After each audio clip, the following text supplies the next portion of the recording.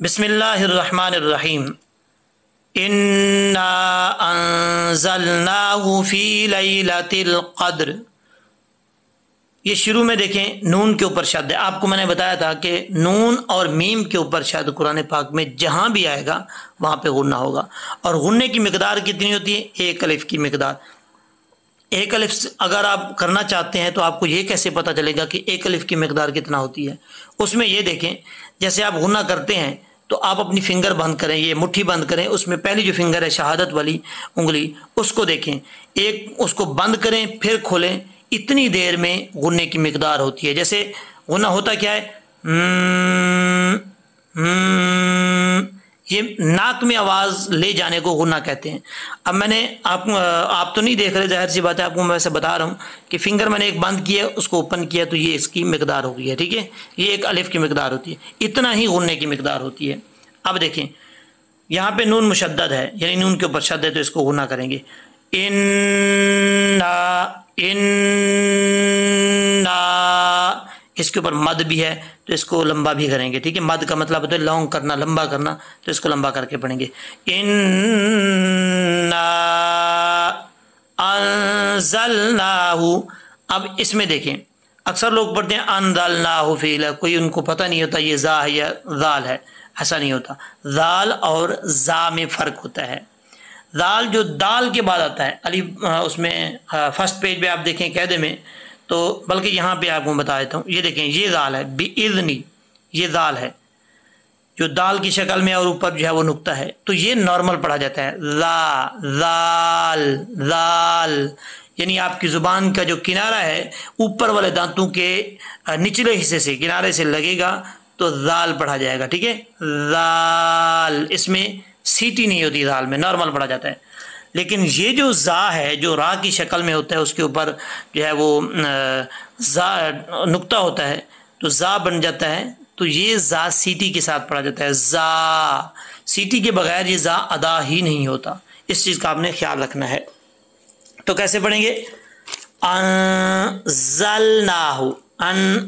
नहीं पढ़ना, अनजलनाहु, सीटी के साथ, ठीक है? आगे। अब आगे है हा हा पेश हु। बस इतना लंबा करना है। हा को ऐसा नहीं करना, हु ऐसे बिल्कुल गलत लहजा है। लहजे के चक्कर में अपने तलफ़ न बिगाड़ा करें। लहजा आपको जैसा भी मारें, वो आपकी मर्ज़ी है। जैसा भी लगाएँ, आपकी मर्ज़ी है। जैसे आप इंजॉय करना चाहते हैं, कर सकते हैं। लेकिन तलफ़ का ख्याल रखा करें। आपका तलफ़ किसी सूरत जो है, वो बिगड़ना नहीं चाहिए। अनजलना हूफी हूफी जलना हूफी फ़ा। के आगे या है, फ़ा या ज़िरफ़ी इसको लंबा करेंगे, ठीक है? एक अलिफ की मकदार। अच्छा यहाँ पर ये बहुत बड़ी मिस्टेक है। अक्सर लोग पढ़ते हैं, फ़ी लाला तिल कद्र लाला तिल कद्र, ऐसा नहीं पढ़ना। लाम या ज़बर लाए होता ही नहीं है। लाम या ज़बर लाई लाई। लाम या ज़बर लई लई ला तिल देखिए लई ला तिल अगर इसको पढ़ेंगे लय ला तिल तो मजहूल हो जाएगा, गलत हो जाएगा। लई ला तिल कद्र ये काफ मोटा है। दो नुक्त वाला काफ हमेशा मोटा पड़ा जाता है, बरीक नहीं होता, ठीक है? जो काफ ये वाला है जिसके ऊपर मैंने रखा हुआ ये काफ बरीक होता है और ये दो नुकतों वाला काफ मोटा होता है। काफ ये कहाँ से अदा होता है? वो जो अंदर आप कभी कभार शीशे के अंदर खड़े होते हैं तो अंदर आपके गले में एक कौवा सा लटका होता है एक वो गोश्त का लुथला। तो वहाँ से जो आपकी ज़ुबान की जड़ है, वो लगेगी तो ये काफ पढ़ा जाएगा। कदर कौफ, ओके? अक बाकाफ जबर, बक। प्रैक्टिस करनी है तो ऐसे करें। बाकाफ जबर, बक। ताकाफ जबर, तक, सक। ठीक है? अच्छा जी। कद्र लाइला लाम या जबर लाई, फ़ी लाइला तिल कद्र। इन्ना फ़ी लाइला तिल कद्र। ओके? वमा अदराका। यहाँ पे मीम किया गया अलिफ है। अच्छा इसको वमा नहीं पढ़ना। वमा वाह वाव हमेशा जब तक होंठ गोल नहीं होंगे, उस वक्त तक वाव अदा नहीं होता, वाव नहीं पढ़ा जाता। तो होंठों को गोल करके ही वाव पढ़ेंगे, ठीक है? वाह वमा वमा। यहाँ पे आगे मद है तो मैं इसको लंबा करेंगे, ठीक है? वमा, अद रा का, रा के ऊपर खड़ा जबर है स्टैंड जबर। इसको खींचेंगे, अद रा का, अद रा का नहीं पढ़ना, अद रा का। अच्छा जी अद रा का मा लतुल कद्र। मीम किया गया अलिफ है। इसको मा लतुल कद्र नहीं पढ़ना। मीम किया गया अलिफ है, लंबा करेंगे। मा, मीम अलिफ जबर मा लईला ये मिस्टेक वही है जैसे मैंने आपको यहाँ पे बताया था। लाम या जबर लई लाए नहीं पढ़ेंगे। लई लातुल कद्र, ठीक है? अब हम थोड़ा सा इसको इधर कर लेते हैं ताकि आपको समझने में प्रॉब्लम ना हो। ये वाली मिस्टेक भी वही है। लाम याजबर लई होता है लय नहीं होता, ठीक है? लई ला, लाम याजबर लई, लाम जबर ला, लई ला। अब ये देखें। इसके साथ मिल रहा है। उधर ता था तालाम पेशतुल लई लतुल कद्र अगर यहाँ पे स्टॉप करना चाहते हैं तो आप कर सकते हैं, कोई प्रॉब्लम नहीं है। नहीं करना चाहते आपके पास सांस है तो इसको मिला के पढ़ सकते हैं, ठीक है?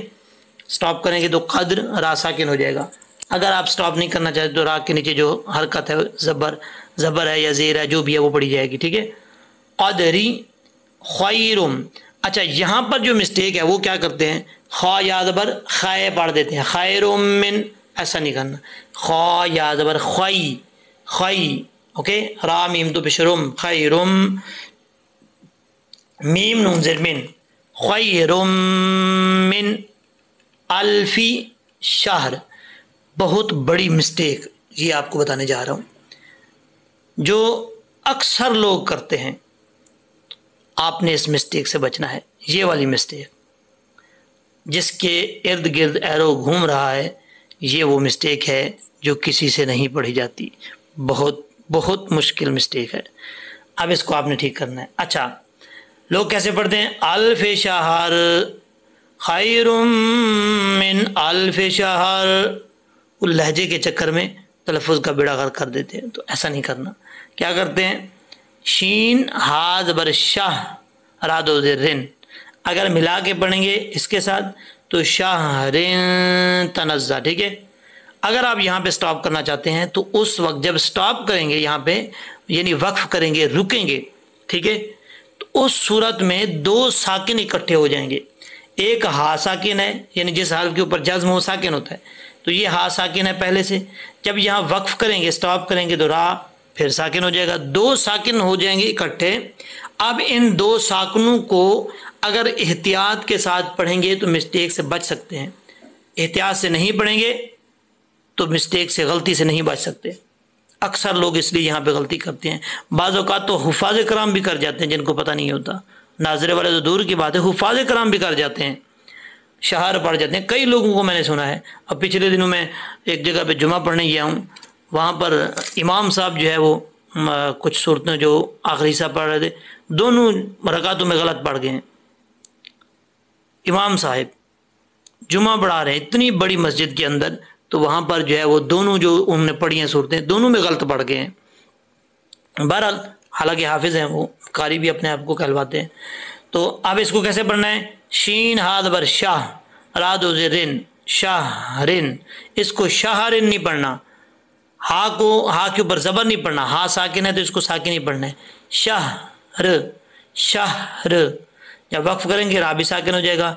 शाह र शाह र खैरुम अल्फी शहर अल्फी शहर।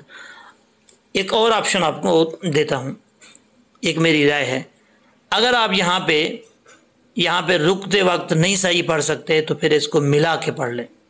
मिला के आपको इजी लगेगा, ठीक है? क्योंकि ये हरकत पड़ी जाएगी तो फिर मसला नहीं होगा।